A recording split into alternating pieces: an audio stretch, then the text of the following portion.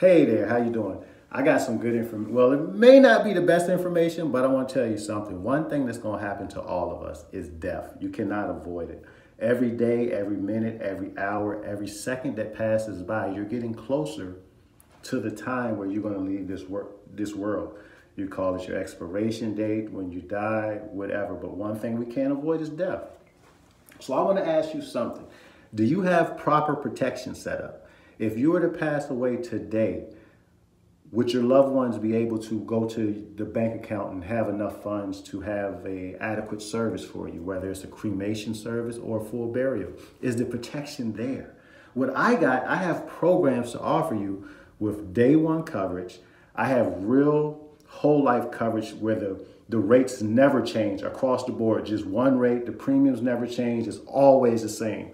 I have this thing called living benefits where if you get sick or disabled or something were to happen to you terminally or chronic or critically ill, you can access some of your funds while you're alive.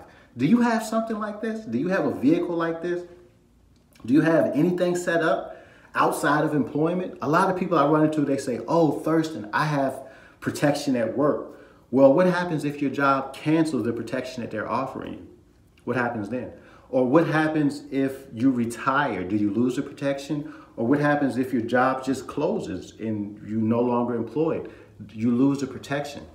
So my encouragement is that you, each and every one of you that's listening to this, get some sort of protection outside of employment, have some protection for yourself, have some protection for your loved ones. If you love your husband, have some protection so if you pass away, he doesn't have to go into debt or struggle trying to figure out how to do your final wishes. Have some protection for your wives so when you pass away, she can perform your final wishes and be able to, you know, maintain her standard of living without your income coming in.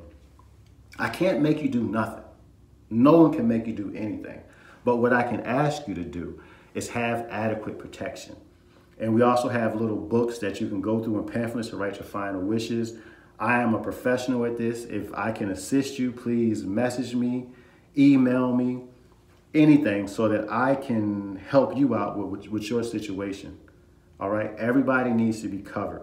That's a mission for 2021 is I want to protect I'm gonna say I want to protect 3,000 families, setting up burial insurance for 3,000 families, final expense coverage, burial insurance programs.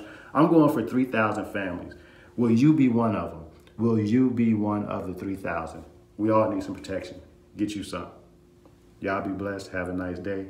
Stay heavily motivated and do the right thing and know that death sneaks up on all of us and we all have a story to tell. So get your protection while you have a chance. Peace.